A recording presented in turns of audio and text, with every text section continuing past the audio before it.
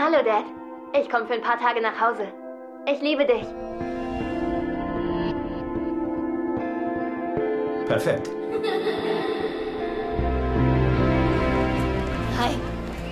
Ich warte schon eine Ewigkeit. Du bist immer zu früh. Was, fängst du jetzt schon an? Ab nach Hause. Hast du jemand? Ja, ich wünschte, du hättest jemanden. Ah, du bist mein Mädchen.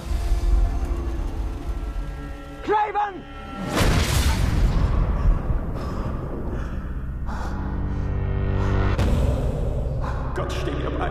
steh mir bei. Es gibt noch viele unbeantwortete Fragen, aber offenbar war Detective Thomas Craven Ziel eines Anschlags. Da ist jemand bewaffnet und gefährlich. Was glauben Sie, was ich bin? Wie kommt er damit klar?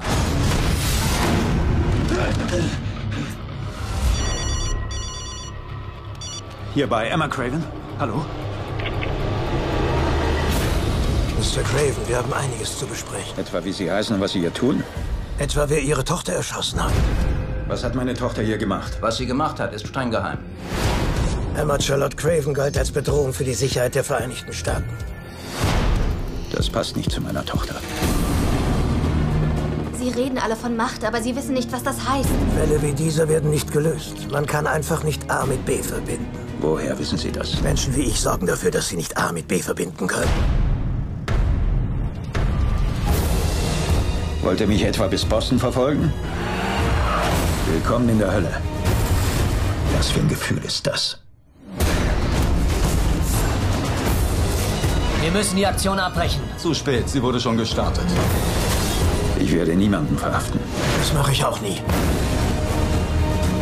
Der Fall ist eine Nummer zu groß für Sie und Sie sind nicht zuständig. Emma Craven war meine Tochter. Ich bin der Mann, der nichts zu verlieren hat. Schnallen Sie sich lieber an!